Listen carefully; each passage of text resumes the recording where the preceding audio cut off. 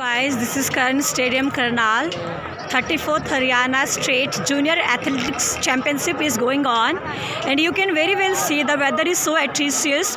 It is full of mist all around but still you can see so many players from the corner of Haryana from 21 districts of Haryana have gathered here and they are playing their own event with enthusiasm with energy so it's proven that atrocious weather, misty weather, or fog even cannot stop these young players to from reaching their destination.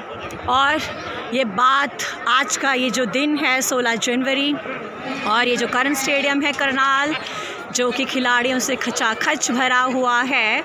सो ये हम, इसने आज ये प्रमाणित कर दिया कि आने वाले समय में विश्व को भारत से बेहतरीन खिलाड़ी मिलने वाले हैं।